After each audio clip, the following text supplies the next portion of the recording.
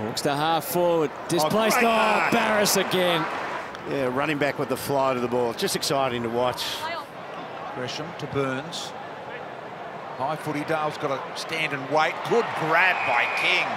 Had to beat three. Superb mark. Yes. The Saints' best contested mark of the night. Off the left boot. Even numbers. So Kennedy's got a chance. And Waterman an even better chance. He's been paid the mark. Glad they paid it. He marked it. Yeah. He, he, can play a key. He's fairly tall, looks about 190 centimetres tall, and he can impact in the air, as we can see here.